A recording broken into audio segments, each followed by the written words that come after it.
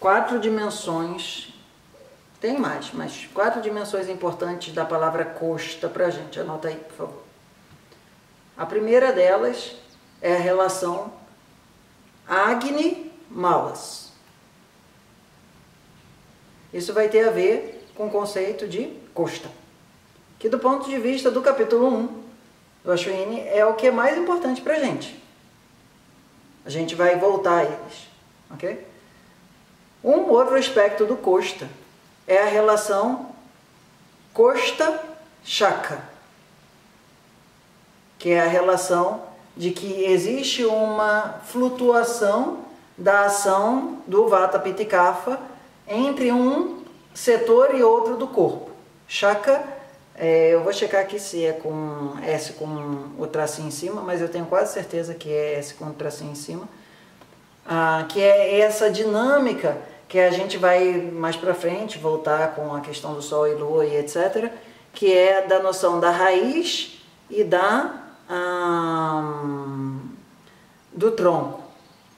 Chaka ou chaka? Eu acho que é só S, ah, tracinho em cima, é, não é K. Estou checando aqui. Ah, chaka. Ok, achei. É, os dois A's são longos. Chaka. S com tracinho em cima, A longo, KH, A longo. Então, essa relação é uma relação onde existe um, um, um, metabolismo mais solar, um metabolismo mais lunar. A gente vai ver isso daqui a pouco, ok?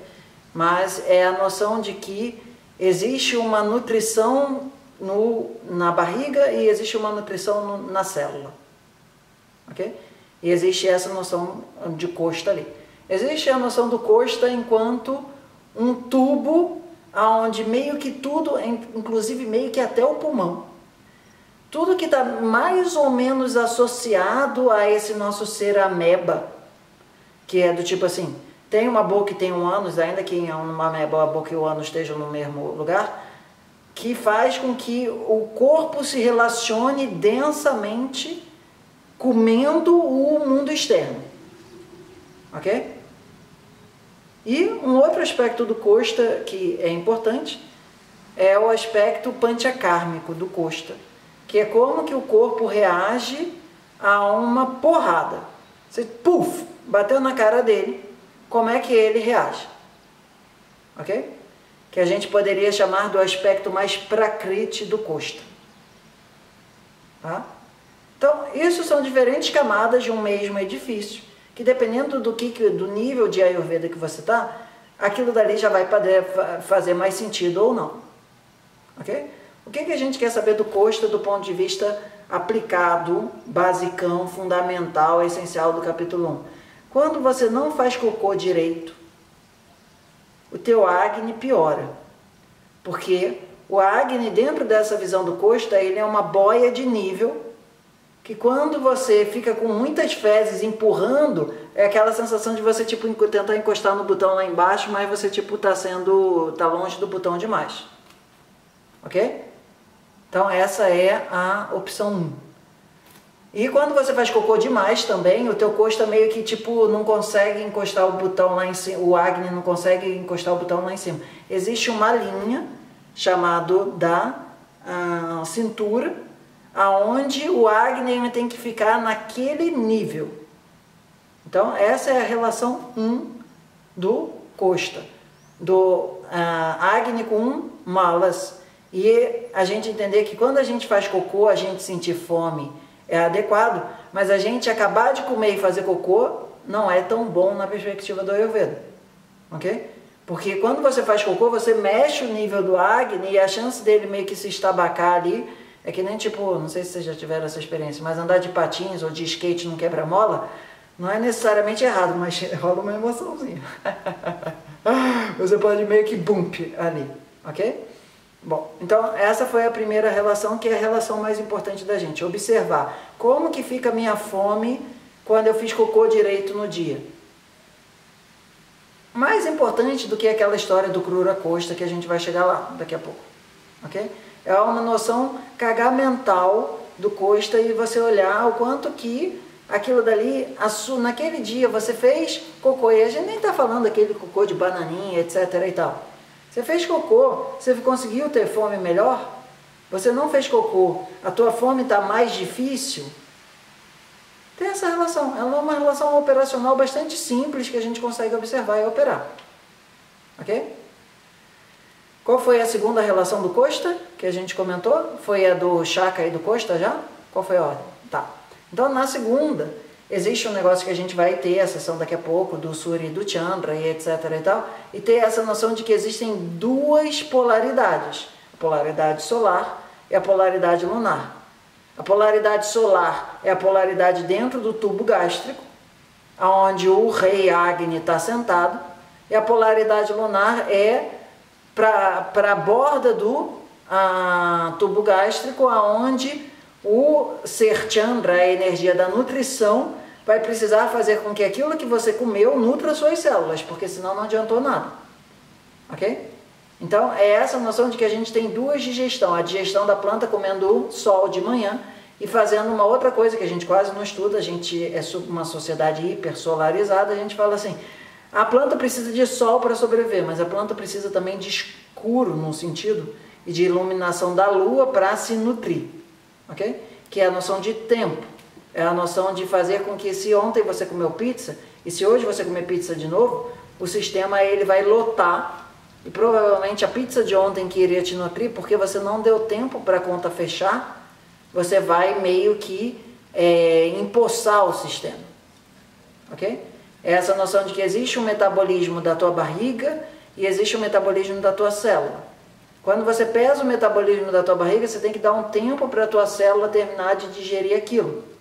Se você joga sempre uma pizza, um cachorro quente, um cheeseburger e um fast food todo dia em cima do teu sistema, ele começa a ficar empossado. E empossado, digamos assim, a planta morre lá dentro. Porque a gente não está tendo essa dinâmica do metabolismo da boca grande e do metabolismo da boca pequena, da boca celular, vamos chamar assim. Ok?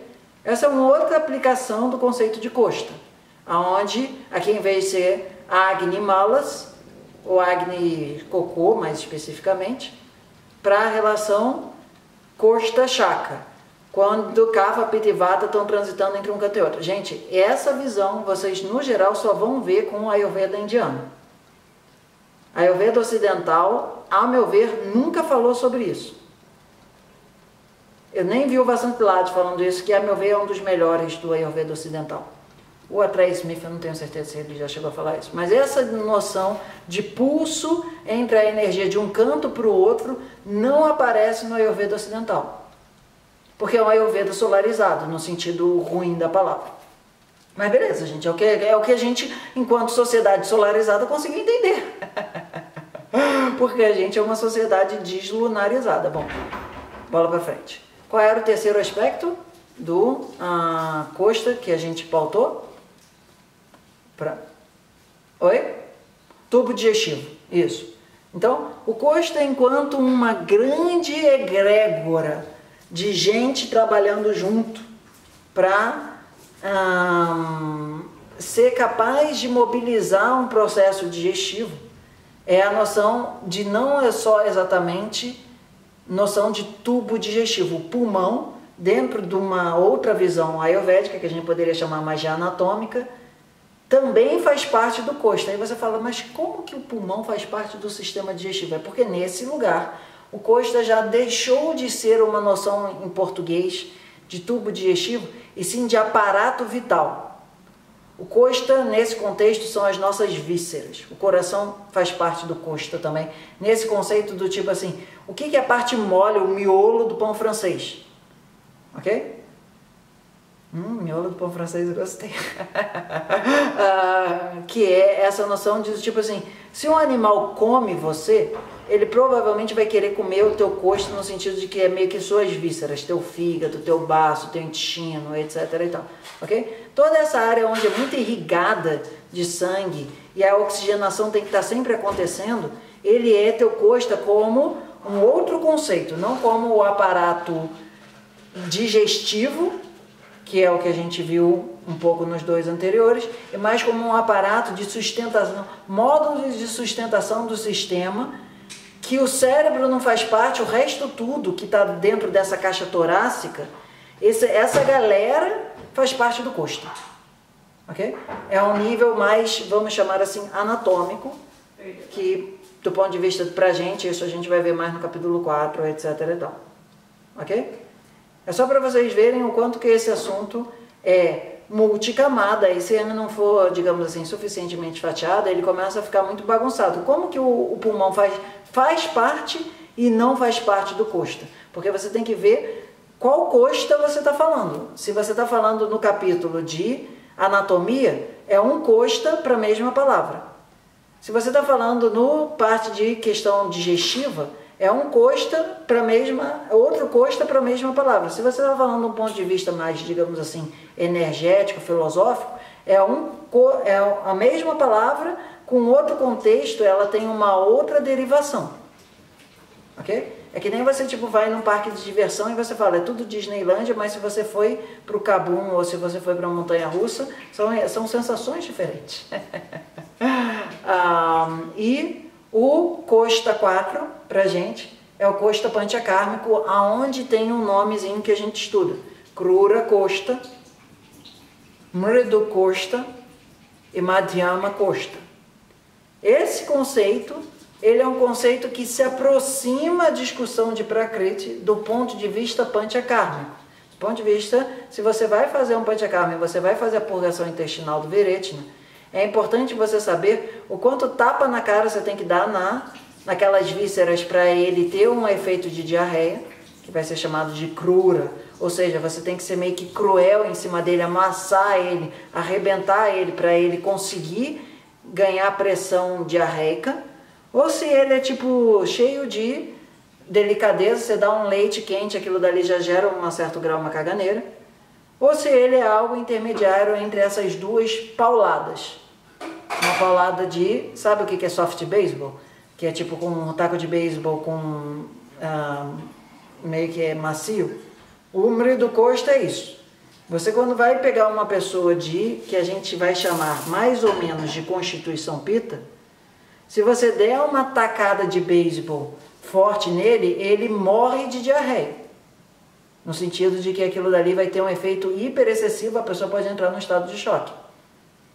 Quando a pessoa tem um crura costa, se você precisa, você já fez, depois a gente mais para frente vai estudar o conceito de Panchakara, mas se você já mobilizou todo o Vata Pitikafa do Chaka para o costa de novo, e eles estão fazendo um auê lá, uma rebelião dentro do sistema digestivo, e você não excreta eles, a pessoa passa muito mal. Então, é, quando você vai, digamos assim, como é que é o nome daquilo? Fernandinho Beiramar. Quando você vai transpor Fernandinho Beiramar do Bangu 1 para não sei que é lá, Goiânia N, tem que ter todo um aparato para fazer aquilo direito. Você não pode tipo só tirar ele de Bangu e falar: "Ah, Fernandinho, pega avião lá para Goiânia e depois manda um recado que você chegou bem". você está tipo fazendo uma mobilização perigosíssima dentro do sistema. E o processo discreto ainda precisa ser perfeito. Fernandinho Bearamar, na forma de doxa, precisa ser tirado do chaca, jogado no costa e botado no novo presídio, no sentido de assim, não precisa ser ejetado com. Sabe, a gente está vendo.